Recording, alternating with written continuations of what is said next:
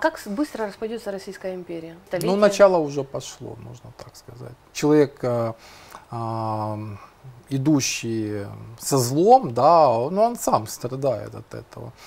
Жалко, что ну, русский народ этого не понимает, потому что там тоже вот эти психологические аспекты, которые там, они как зомби, я много общался, да, вот они вроде как-то и понимают, но они не понимают. Но не осознают. Не осознают. Они ну, не хотят этого осознавать, потому что у них это заложено, да, ну, Россия э, страна там, ну, там хлеба и зрелищ, да, э, поэтому ну, им, им только нужен, ну, такой же лидер, да, вот поэтому все и пошло.